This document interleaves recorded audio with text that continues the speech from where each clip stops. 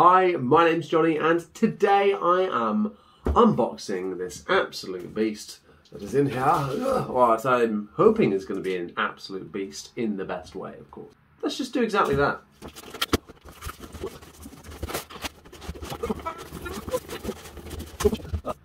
So, this has come from the lovely folk at a oh, Guitar Guitar, which is a UK music retailer and the official distributor for G and L.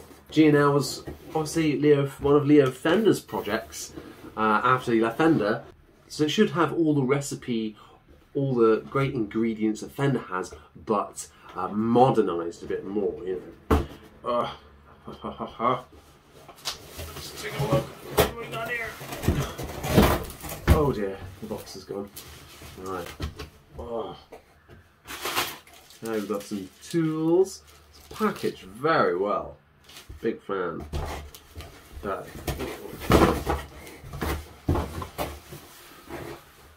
Oh gosh.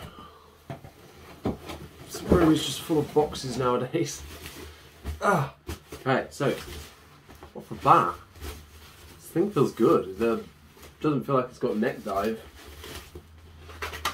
This is my first ever G&L as well, even touching one I think, so I'm very excited.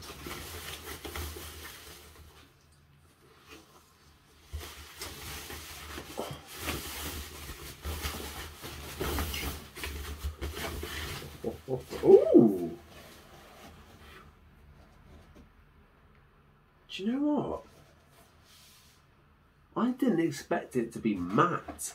Look at that, that's a stunner. That looks so much cooler in person, I think.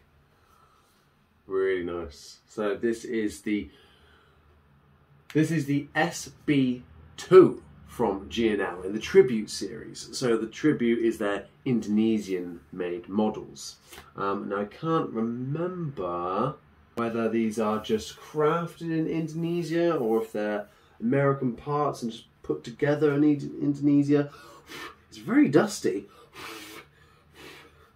but that neck feels really nice. No gloss finish in sight. It feels a little bit.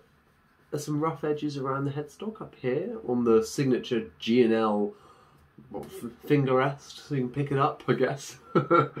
Weird design that isn't for everyone, but actually, I don't, I don't mind it. I think it's fine. Um, yeah, feels really nice. Let's uh, let's give it a bit of a play.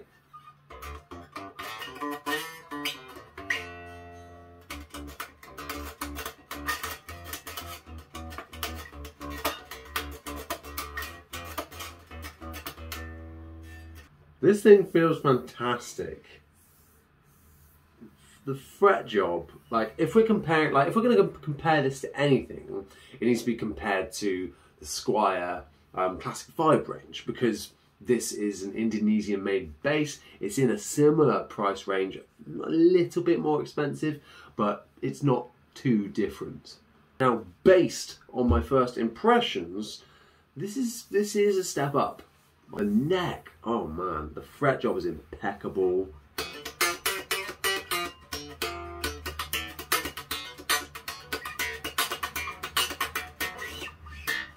I really like the big dog inlays as well. They really remind me of a Music Man.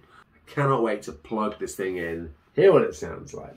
Let me know in the comment down below if you're looking forward to seeing the full review on this bass.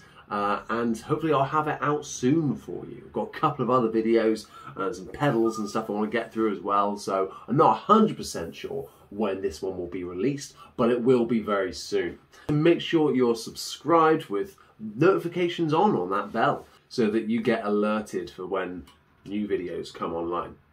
Once again, thank you so much for watching. See you next time.